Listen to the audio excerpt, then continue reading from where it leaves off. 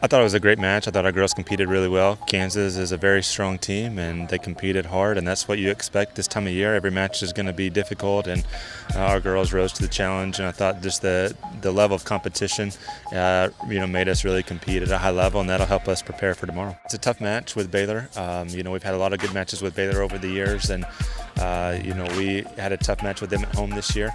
Um, you know, I remember playing Baylor on these courts uh, last time we were here in Norman and getting a big win, and hopefully that'll be the case again tomorrow. We're having a lot of fun to, you know, have a lot of teams here and and everyone uh, fighting for the same goal. So it's very excited and, and we're happy to be here.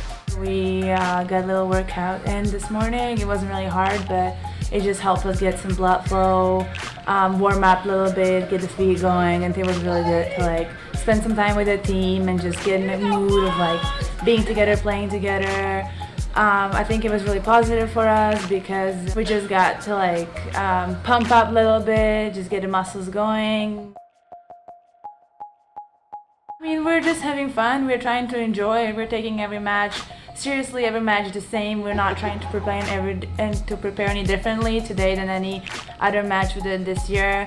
Uh, we're just trying to be relaxed. Just try to think about the match and how we're going to play, and just just enjoy and have fun and support each other. Thought we had Vicky and Kat and Lena there, and I'm like, well, we're going to win one of these with these three girls. And you know, I think as a coach, you just develop the confidence and the trust in the players that you have. And you know, I restarted in the third set, and I knew I had to deliver more energy because I play better with um, with emotions and uh, with energy, and crowd helped me.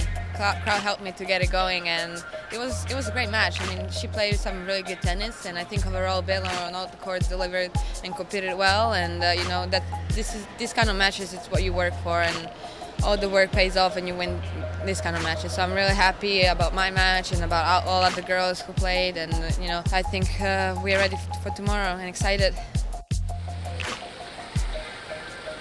It's always an exciting time. You know, there's only two teams left in the league, and it comes down to us and Texas Tech, who have been the class of the league really for the last two years, getting to play again. And um, we're becoming very familiar with their team and them with us, so it's going to be an exciting day.